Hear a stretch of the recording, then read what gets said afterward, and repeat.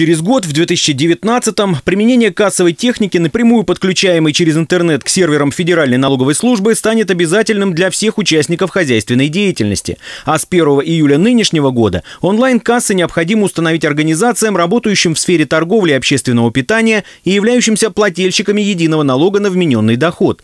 Также это требование распространяется и на индивидуальных предпринимателей, плательщиков ЕНВД или держателей патентов в тех случаях, когда они используют наемный труд. До завершения второго этапа перехода на новый порядок применения контрольно-кассовой техники остается меньше месяца. Для того, чтобы разъяснять наиболее сложные моменты этой процедуры, в Одинцовской налоговой инспекции для бизнесменов еженедельно проходят открытые классы. Они планируют свое время, приходят к нам, подготавливают вопросы, что им еще непонятно в э, налоговом законодательстве по поводу перехода, задают вопросы которые касаются непосредственно их бизнеса или каких-то конкретных вопросов, которые происходят в бизнесе. Например, уволился работник у индивидуального предпринимателя.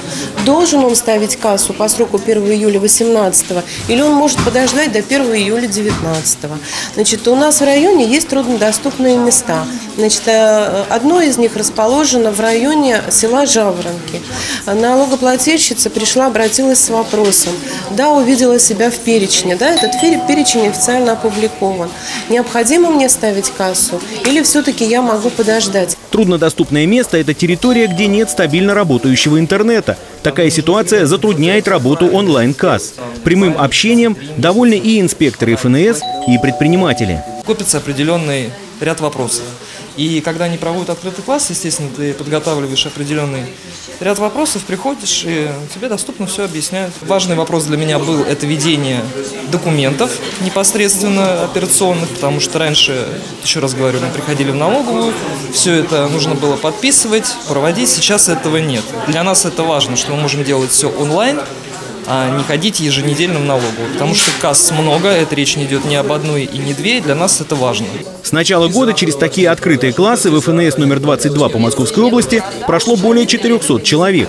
Главное, о чем предупреждают предприниматели и представители налоговой и сотрудники технических сервисов, обслуживающих онлайн-кассы, не ждите до последнего. Сегодня приобрести и зарегистрировать новую ККТ значительно проще. В конце июня будет самый настоящий ажиотаж.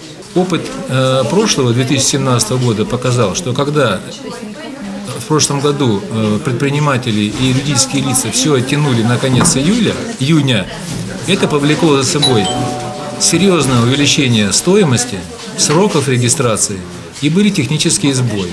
Вот это первая проблема. Мы всех убеждаем, что, товарищи предприниматели, не надо думать, что в этом году вам повезет вам не повезет. Если вы оттянете все до 1 июля, вы попадете в такую же ситуацию, как попадали в прошлом году. Это первая проблема.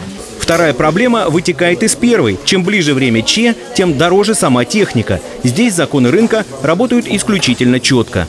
Техническом же плане никаких сложностей не предвидится. Опыт открытых классов всеми признается вполне успешным. Естественно, мы усилим а, эту работу а, в последующем, потому что нас ждет еще третий этап перехода на онлайн-кассы.